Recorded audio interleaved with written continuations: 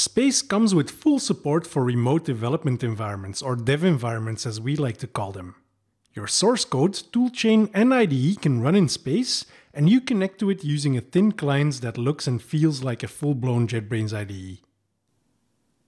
In any Space repository, you can click Open in IDE and select a branch or merge request that you want to work with. You can also pick the size of the virtual machine your dev environment will run in.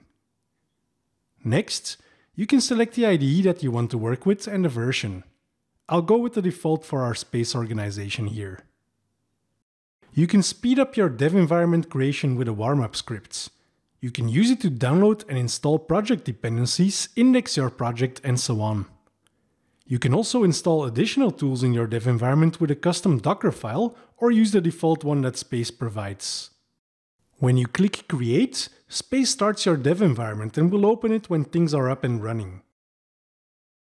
On your local machine, you're running a thin client that communicates with the full IDE backend in Space. You can do anything you would be able to do locally. You can explore your project, you can work with code and write codes, use navigation, run unit tests and all that. You can even run Docker containers in your dev environments. Here's the MySQL container that I need to work on this particular application.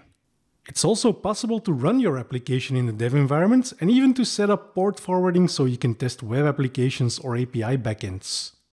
Dev environments support your typical development workflow.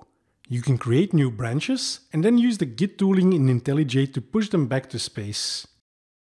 If you want, you can continue working in your dev environment, but let's switch back to space for a moment.